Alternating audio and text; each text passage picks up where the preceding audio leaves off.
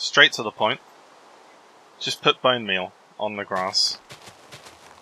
Boom, you get a seed, you plant a seed, you duplicate it, that's wheat done.